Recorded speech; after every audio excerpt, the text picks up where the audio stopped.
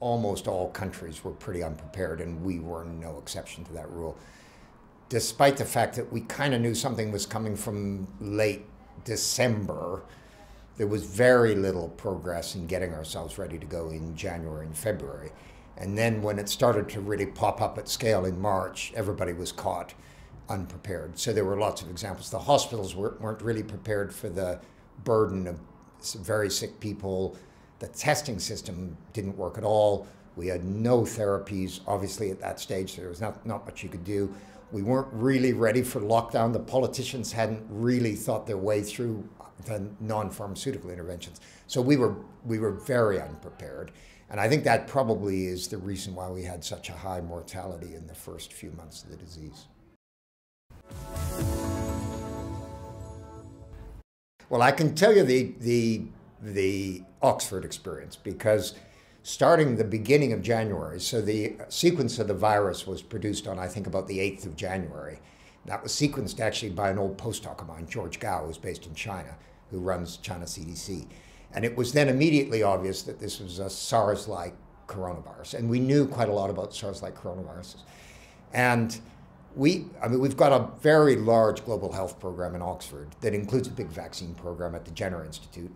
Sarah Gilbert had a vaccine for another coronavirus called MERS that had already been in clinical studies where we'd show it, it was immunogenic. So, genetic. so she knew she could make a vaccine in a pretty short time frame that was specific for this particular virus.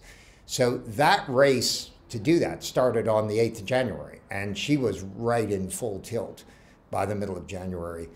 But we were also building capabilities around how do we set up clinical trials. And Peter Horby and Martin Landray started to think about how you would do large scale clinical trials in a pandemic. So that led to the recovery trial, which was, the, of course, one of the great successes in clinical trials. And we were also thinking about what are the other therapeutic interventions you might develop? Can you develop new drugs? Are there drugs that we've got that you think might work in this setting and that? So from about I remember I went to a meeting in Oxford on about the 20th of January. There were about 40 different scientists in the room, and they were all working on COVID. Despite the fact that it wasn't in the newspapers, the health service wasn't interested, politicians were busy doing something else, we are just post Brexit, blah, blah, blah. So, so it's interesting because the research community were on point for this, and they, and it was really, I think that was one of the reasons why we did so well. You've hit on the two key interfaces that we had as, as academic researchers. One was, and this become very, became, as it became clear that we might actually have a vaccine, uh, and the preclinical data was very impressive, it was pretty obvious to me that we as a university had no chance of getting that vaccine into widespread use globally if we didn't have a partner. And the reason is that universities do the research, but and we might get as far as a late state one late stage trial, but we don't do any of the regulatory approval work. We don't do any of the manufacturing. We don't do any of the deployment. We don't do any of that stuff. So it was pretty obvious to me and to the vice chancellor of the university, Louise Richardson. We both said, this is not going to work. We need a partner and we need one fast. So I spent about, well, I spent the next couple of months trying to find a partner and you know, there weren't that many partners who were available. But we were very fortunate to have run into AstraZeneca and Pascal Soriot, who is their CEO, who was very committed to getting something done in this space. So that kind of solved that problem. But of course, those interfaces with industry were widespread across the whole of the COVID crisis. So where do you get the tests from? How do you evaluate the tests? How do you get the regulatory approval for tests? And that involved working between industry and academia industry did their own validation of the tests, but of course they didn't have access to large numbers of people who'd had COVID at various stages and various degrees, so they didn't really know how well their tests worked. So we said, that's fine, we understand that. Give us your tests, and we'll put up a standard validation program, and we'll tell you how well they work, where they work, where they don't work, and if they work really well, we'll deploy them. We'll buy a ton of them, and we'll deploy them. So there was a, a an interesting relationship there as well as we went along and also for the evaluation of drugs, which again we did through the clinical trial networks. Government was a completely different kettle of fish because, of course, government had government was interested in the science and the pandemic, but it was also interested in everything else the economic health of the country, how do you keep everything else going, how do you avoid society from collapsing.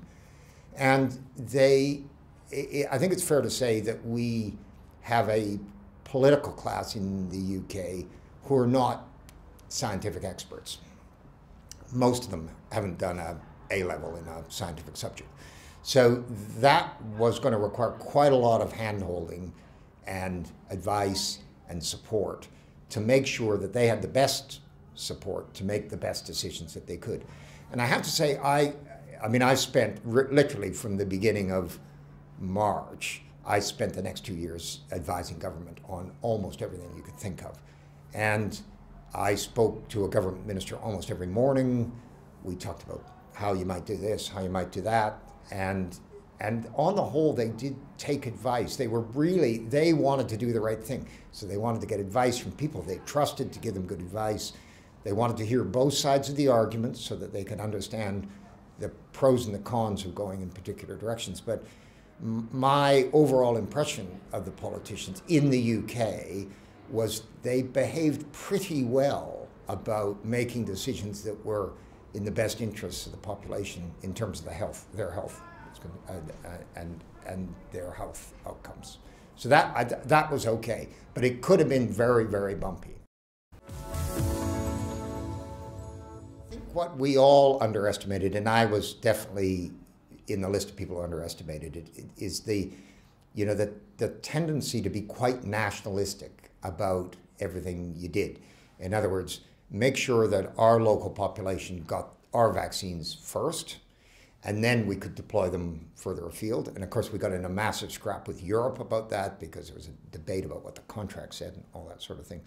But the, you know, the, but also, you know, the sort of slight grating you got because some people had some vaccines that were made in their country and other people had vaccines that were made in other people's countries. And there was, I mean, the, for example, the Chinese have systematically avoided using anything anything but Chinese vaccines, and now they're in a pickle because the vaccines don't work. So you know the, but but it's quite hard for a government of a big, strong, economically viable company to say, actually, the honest truth is their vaccine's better than our vaccine. Let's get their vaccine. Off we go. And that you know we've seen that. It's, it's happened in America. AstraZeneca vaccine has never been approved in America. I mean, you work that one out. That's completely bonkers, actually.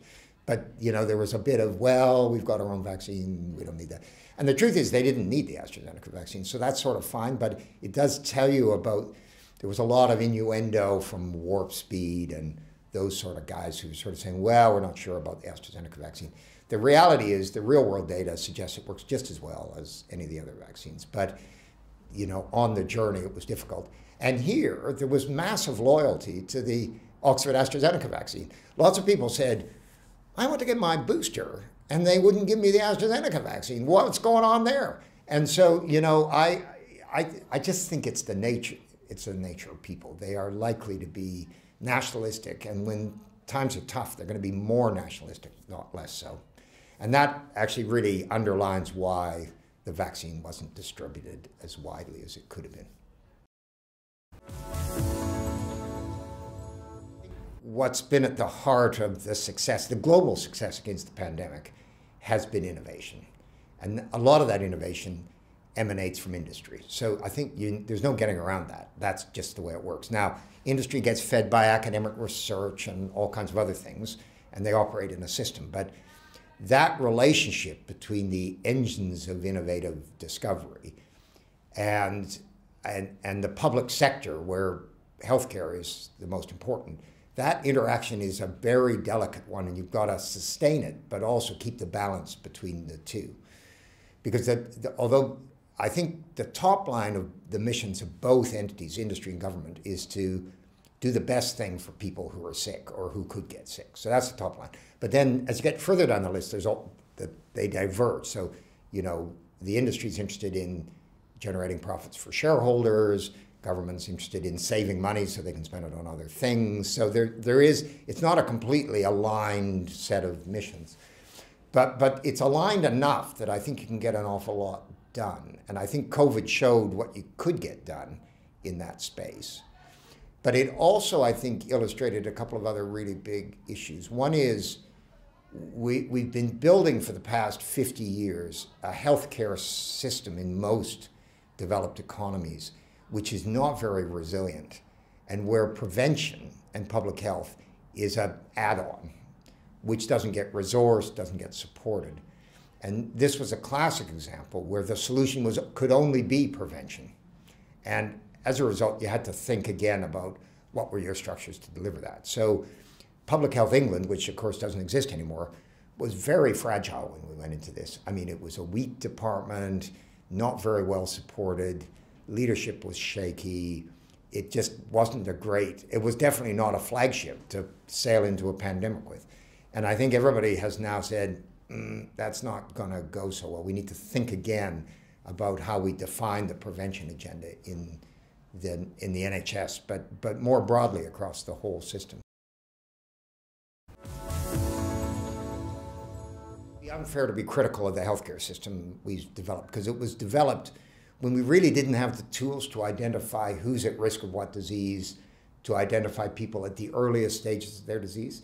And as a result, we, it operates very much to the right hand side of the spectrum with people with with well established late stage disease presenting to the healthcare system. So, as Linda Stewart said in the discussion today, that's really it's, it's, it's an illness system, it's a national sickness system.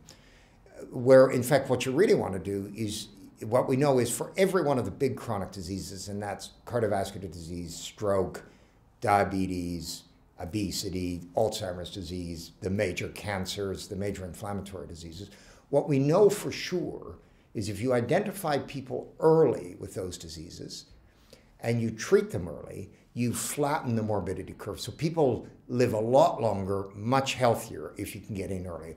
Cancer data is clear, the cardiovascular data is clear, it's been around for 20 years, but it's also true with all these other disorders.